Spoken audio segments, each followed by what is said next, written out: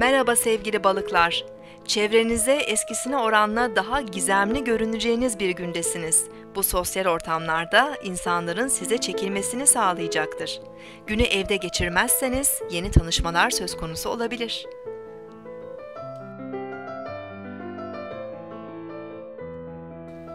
Bugün 18 Mart 2014 Salı, Mars günündeyiz.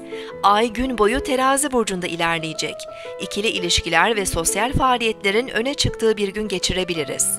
Ay Venüs'le olumlu görünüm yaptığı için ilişkiler adına şanslı gelişmeler de söz konusu olabilir.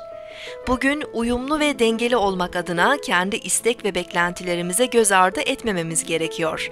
Kararsız ve çekimser davranırsak huzursuzluk hissedebiliriz. Bugün iletişim gezegeni Merkür Balık burcuna geçiş yapacak. Merkür 8 Nisan'a kadar Balık burcunda kalacak. Bu süre içerisinde zihinsel konularda ve iletişimlerde duygusal ve sezgisel davranabiliriz.